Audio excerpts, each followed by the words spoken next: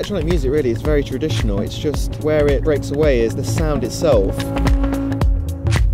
People in electronic music doing the same things in traditional music. You know, they've got repeating ideas, they're using popular rhythms, and I guess I'm more interested in a newer set of sounds, even if that's at the cost of them not being as rich or dynamic as like a violin or a cello.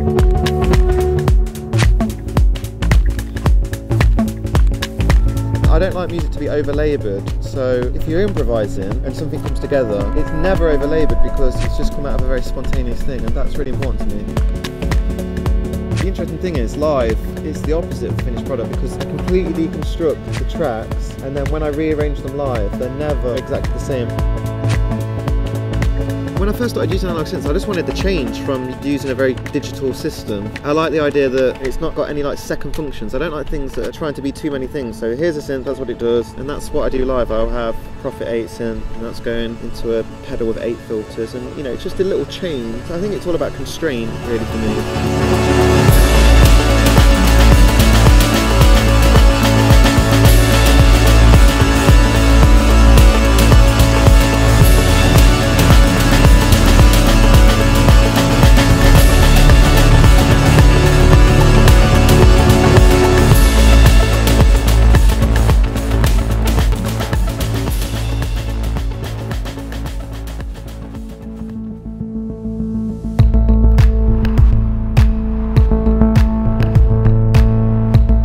My music has got a slightly dark mood about it, which I'm really happy with because I think it's really hard to get mood out of electronic sounds. It comes down to sort of very careful judgment when you're exploring sounds because it's very easy with synths to create something that's very plastic and, you know, just like a bright colour.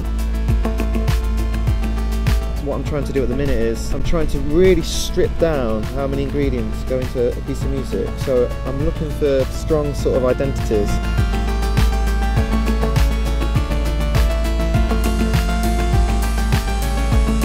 When something gives birth to a new style, that's when something's happened so well. It's got so much potential in it that it has to give birth to thousands of artists. So you know, it's like a network artist. It's just constant borrowing and referencing. It's just everything all at once.